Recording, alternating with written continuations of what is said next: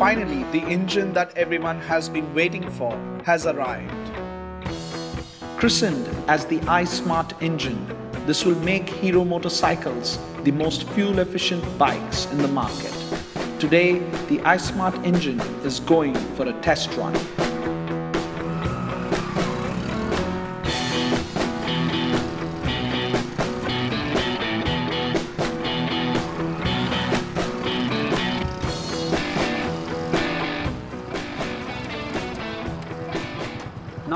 Are standing at the traffic light. After a few seconds, What do you hear? You don't hear anything. automatically the engine switches off.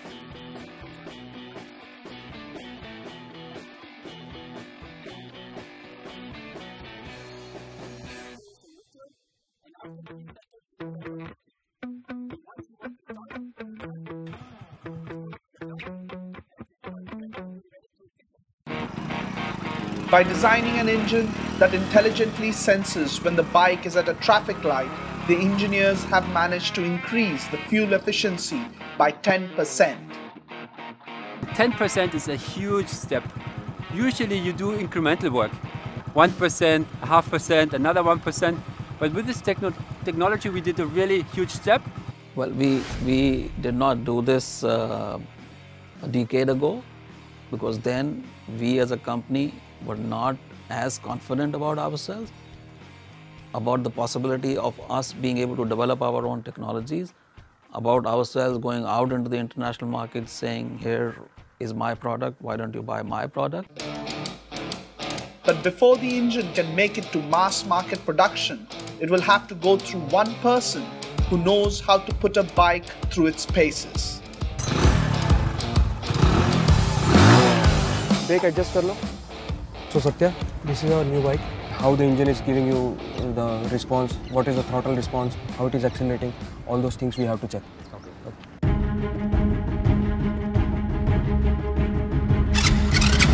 Satya is a stunt driver.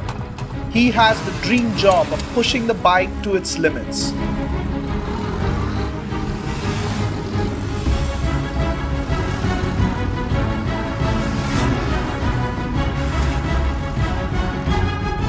And in his hands, a modest 100cc engine can perform some magical feats. Under the engineer's watchful eye, the stunt driver puts the engine and the bike to its maximum performance ability.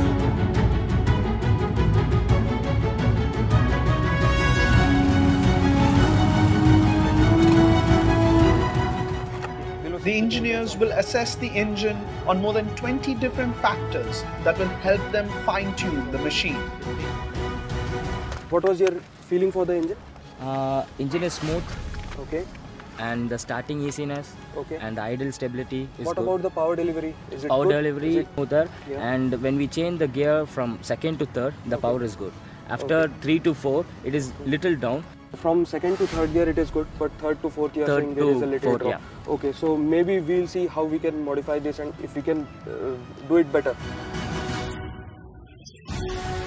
The engine has passed its test, and with a few final tweaks, it will be ready for the production lines.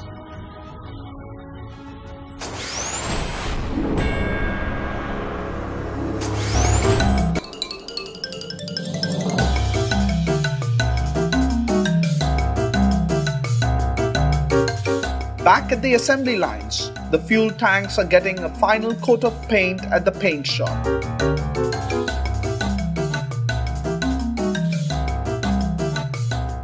Pre-programmed robots manage to paint up to 100 bikes in just 20 minutes. To make the motorcycle stand out in a crowd, Hero uses a special coat of paint that helps reflect more than 85% of light.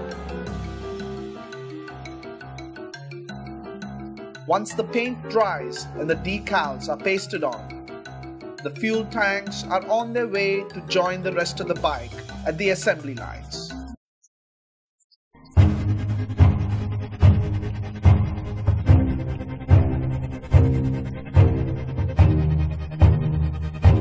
the new iSmart engine is finally ready to be assembled into the motorcycles. As the engines are lined up, waiting to be incorporated into the frames of the bikes, there is no time to stop the production line to prep for the new models. You see now the setup change is going on here. This is the last model of the previous one. Then we have three empty jigs. So after three empty jigs, a new model comes up. So the setup change is hardly 54 seconds. It is happening within one minute. So that's the kind of speed with which we are going changeover from one model to another model. Like a symphony, the assembly line workers managed to incorporate the engine and all the little parts of the new bike model without any teething issues. You have a concept stage, then you convert the, into design, and by the time you launch the product, you would have done two sequences of trial production. So it is our duty to identify based on the experience what happens in the trial and what are the problems you actually face on the lines. We eliminate all these problems by the time you get into mass production. Even with the new engine, production lines are churning out a bike every 18 seconds, a true testament to the factory's efficiency.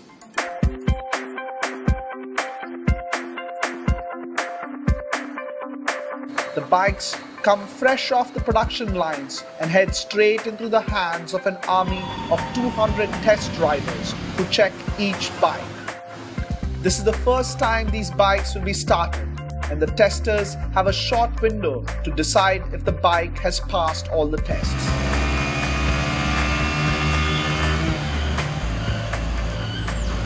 We are having a 138 checkpoints and we are doing it in 350 seconds. From that to that end, it's like 350 seconds for each bike we are having. In less than 6 minutes, the testers have to check more than 138 features of the bike. From the electrical connections to the acceleration and braking, these testers are so in tune with the bikes that they can do it with their eyes closed.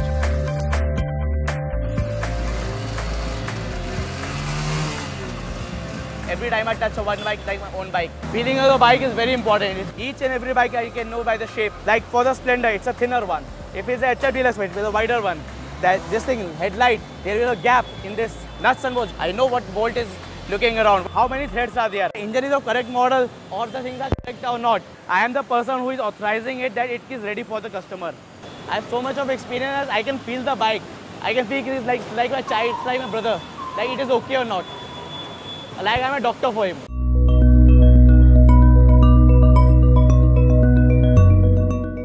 Once the final tests are done and the bikes are given a seal of approval, they head to a holding area waiting to be sent to dealers all across the world.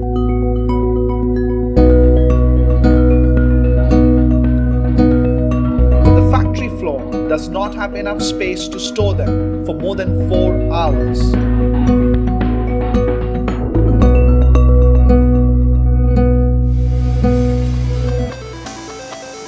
So the factory has come up with an ingenious way to deal with its precious inventory.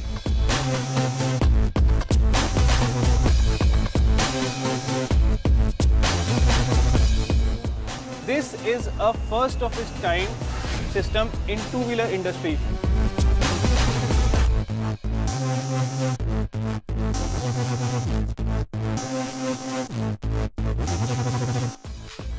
The factory is replacing its manual loading system with a fully automated robotic system.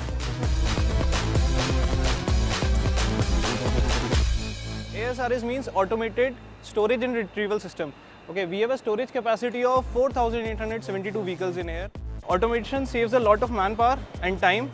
If you store the vehicle on this floor, a single floor, and here we are storing the vehicle on 7th floor, we have multiplied our capacity by seven.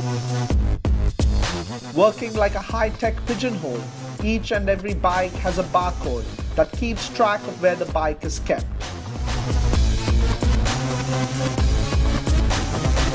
Okay, suppose I want a black colored particular Splendor Pro of cast type. I can place it in my system. The system will respond here. It will instruct this stacker. Okay, the stacker will go to the particular cell. It will drag out the vehicle from there and it will give the vehicle to me. When the trucks pull into the storage area, the retrieval system is waiting there with the right color and model for each dealer without the need of human intervention. As these bikes head out of the factory to the 80 odd countries across the world, the workers can put down their tools, proud to have produced the largest number of fuel efficient motorcycles in the world. When a customer anywhere on earth buys, he knows that it's a reliable product, it's backed by good quality, and he has the trust on the organization. We've done 50 million, it's a great thing. Congratulations to everyone. But now I'm looking at the 100 million mark. But it does not just stop there. Plans are already in place to open a $200 million research and development facility that will manufacture the motorcycles of the future.